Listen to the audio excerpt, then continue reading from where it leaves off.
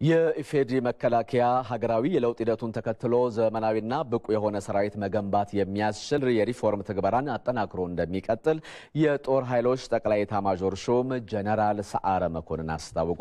ጠቅላይ ኤታማዦር ሹሙ በተቋም ደረጃ በተካሄደው ውይይት ማጠቃለያ ላይ ለከፍተኛ ወታደራዊ አመራሮች እንዳሉት በሀገሪቱ የተጀመረው ለውጥ ተጠናክሮ እንዲቀጥል አስተማማኝ ሀገራዊ ሰላምን ከማስጠበቅ ጎን ለጎን ዘመናዊና ብቁ ሰራዊት የመገንባት ሂደቱ በሁሉም መስክ ተጠናክሮ ይቀጥላል። ሪፎርሙ ራሱ ያስፈለገው ያሉን ጥረቶች ፈተን ለሀገራችን ጠንካራ መከላከያ፣ ጠንካራ ሰራዊት በሀገሩ የሀገሩ የሚያገለግል በህዝቡ በሀገሩ የሚከበር ሰራዊት መፍጠር ከአደረጃጀት ለውጥ አንስቶ የባህር ኃይልና ሌሎችም ተጨማሪ ወታደራዊ አቅሞችን ለመገንባት መንግስት በሰጠው ትኩረትና አቅጣጫ መሰረት በአፋጣኝ ወደ ተግባር ለመግባት ዝግጅቶች እየተጠናቀቁ ነው ያሉት ጀኔራል ሰዓረ መኮንን የሰራዊቱን ኑሮ የሚያሻሽሉ ውሳኔዎች ስለመወሰናቸውም አብራርተዋል። ከሀገር ባለፈ ቀጠናዊ ሰላምን የማረጋገጥ ኃላፊነትን መወጣት ላይ የነበረንን ሰፊ ልምድ ይበልጡኑ ለማዘመን አቅጣጫዎች ተነድፈዋል ያሉት ጠቅላይ ኢታማዦር ሹሙ ለዘመናዊና ብቁ ሰራዊትነት የሚያበቁ አስቻይ ቅድመ ሁኔታዎች ላይ ከፍተኛ ትኩረት ስለመሰጠቱም አመላክተዋል።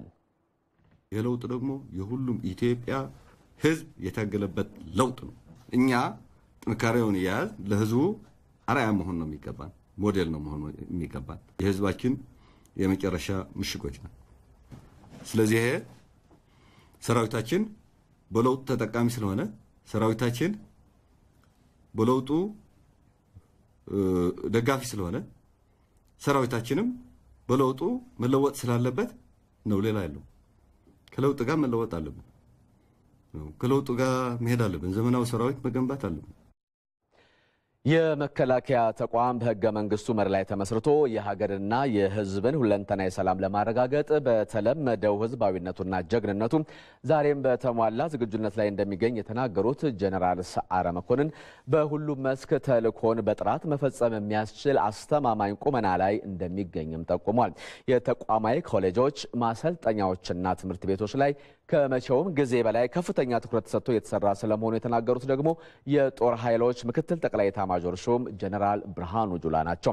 የዘመናዊና ፕሮፌሽናል ሰራዊት ግንባታ ሂደት የሚቀላጠፈው አስተማማኝ አቅም በፈጠሩ ኮሌጆች፣ አካዳሚዎችና ማሰልጠኛዎች እንደመሆኑ ለዚህ የላቀ ትኩረት ሊሰጥ ይገባልን ብለዋል ምክትል ጠቅላይ ኤታማዦር ሹሙ። ዘገባው የመከላከያ ኢንዶክትሪኔሽንና ህዝብ ግንኙነት ዳይሬክቶሬት ነው።